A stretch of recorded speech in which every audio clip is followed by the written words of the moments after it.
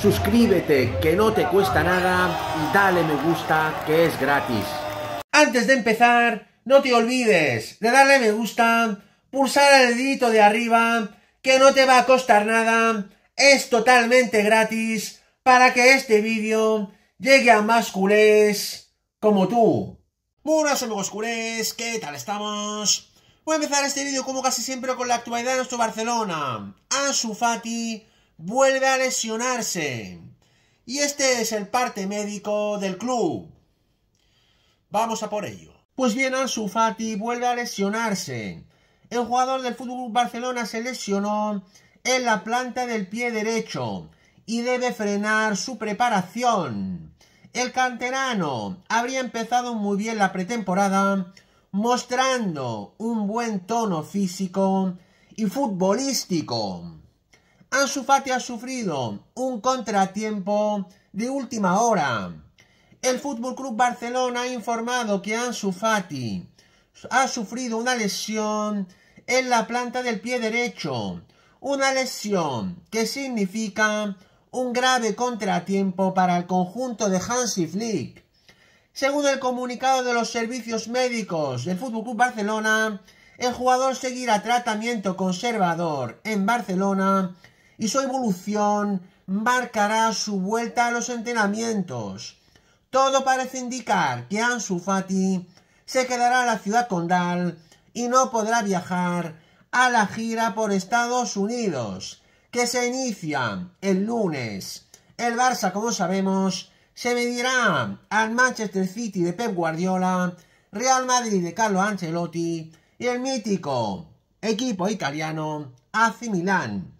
Pues bien, Ansu Fati se pierde al 100% la gira americana del Barça. Es información, no opinión. Ansu Fati había iniciado el trabajo con sus compañeros con mucha ilusión y ganas de demostrar que puede lucir el número 10 del Barça. La lesión significa un parón inoportuno, justo cuando el futbolista tenía la esperanza de volver a despegar.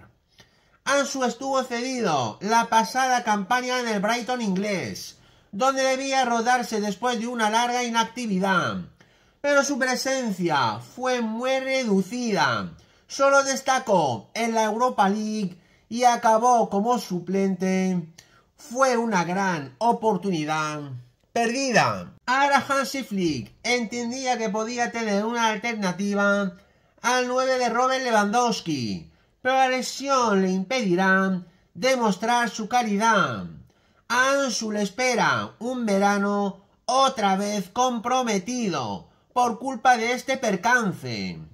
El Barça esperaba que tuviera un buen rendimiento tanto para que Hansi Flick lo tuviera en cuenta o para poder realizar una operación de salida.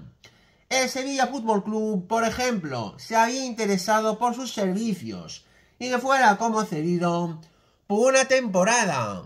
Ansu Fati podía haber resurgido en el Sevilla de la mano de un técnico que lo conoce muy bien, Francisco Javier García Pimienta, cuyo conocimiento de los jugadores de las categorías inferiores del Barça es absoluto.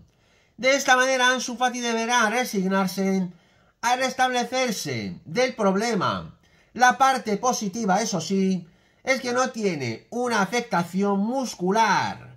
La parte que más ha sufrido es su cuerpo y se trata de un problema no tan serio en la planta del pie. A falta de que el Fútbol Club Barcelona puede comunicar más detalles, existe la confianza de que no sea una lesión muy grave. El futbolista pueda volver al trabajo a lo largo del próximo mes de agosto. Yo de verdad estoy hasta los cojones. Llevo tiempo diciendo que hay jugadores que no pueden seguir en el Barça. Y me da igual, me da igual cómo se llamen. No pueden seguir. Jugadores como Ansu Fati, Pedri, Araujo, De Jong, etcétera, no pueden seguir. Lo siento. El Barça no es una ONG. ¿Alguien me puede decir a mí qué ha dado al club estos jugadores? Por ejemplo, Pedri. que tiene a muchos lovers, muchos fans de Pedri, ¿eh? que entran a este canal a echar mierda, a faltar respeto. ¿Alguien me puede decir de esos lovers palmeros de Pedri qué ha hecho el Canario en el Barça en los cuatro años que lleva? ¿Un partido crucial, semifinal de Champions, ¿eh? Una final, partido de liga. ¿Qué ha hecho Pedri? Cero patatero. ¿Qué ha hecho Araujo? No, el gran central Araujo, mejor central del mundo. ¿Qué ha hecho Araujo? Desde que está en el Barça. Algún partido crucial que ha servido para que el Barça levante un título importante. ¿Qué ha hecho Araujo? Hacer un penalti tonto del año pasado que nos costó estar en la puta calle en la Champions. O el mismo Ansu Fati. ¿Qué ha hecho Ansu Fati? O De Jong. O Super De Jong, centrocampista total. ¿Ha hecho algo De Jong en el Barça? Más que lesionarse y lesionarse y cobrar, por cierto, la próxima temporada 35 millones de euros. Algunos dicen que va a cobrar más que Mbappé. Yo eso no me lo creo, pero bueno, va a ser uno de los que más cobra en la liga y en Europa. 35 millones. Estos jugadores tienen que estar en la puta calle. No pueden seguir ni un año más en el Barça. Porque el club debe de estar por encima de todo y de todos.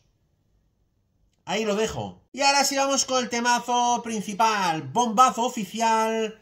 El Barça se harta de Ansu Fati, prácticamente se va a desprender de él. De hecho, una fuente deportiva muy importante da prácticamente por hecho que Ansu jugará en el Sevilla la próxima temporada cedido con opción de compra, ya que como sabemos el club andaluz vendió a los dos delanteros que tenía, Anne Siri y Rafa Mir, iba a apostar al 100% a por su ex canterano y todavía jugador del Barça, Ansu Fati. Pero ahora viene lo más interesante. El naturalmente no se fiaba de Ansu Fati y acaba de cerrar el fichaje de un brutal delantero. Muchos lo comparan con el Guaje Villa. Es un auténtico crack.